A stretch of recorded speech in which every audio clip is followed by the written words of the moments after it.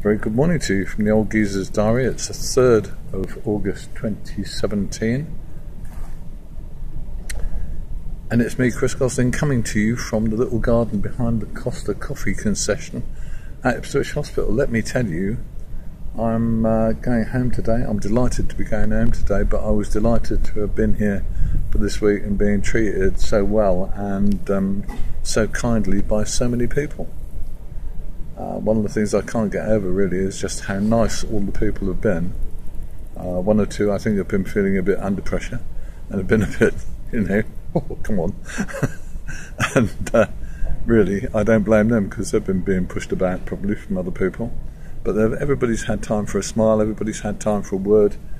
Um, the medics who have been treating me have treated me, I think, extremely well and done the stuff that I think needed to be done and done it faster than I anticipated. So I'm really, really chuffed a little, little green apples.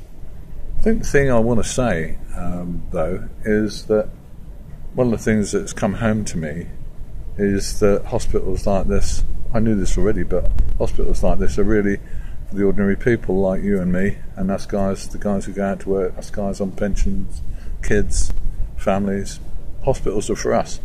And all the people who allegedly run, or inverted commas, think they own the hospitals, like the politicians who are on, I don't know, 100 grand a year or 150 grand a year, they can all afford their private health care. If something goes wrong, they rush into Nuffields, I expect. Whereas if something goes wrong for us, we're, we're lucky we get taken into here in time and get fixed, which is brilliant. But the reality is that those politicians don't really give a toss too much. Uh, and that's why they keep cutting back and trying to cut back and trying to cut back on hospitals, I believe. Uh, ordinary NHS hospitals that do such a good job, and they're constantly having their budgets cut and constantly being told you can't do this and constantly being told you can't do that.